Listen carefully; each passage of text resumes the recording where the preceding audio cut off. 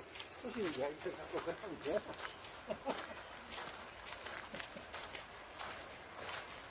안 그러네. 안 보이는데 바지를 이렇게 묶지.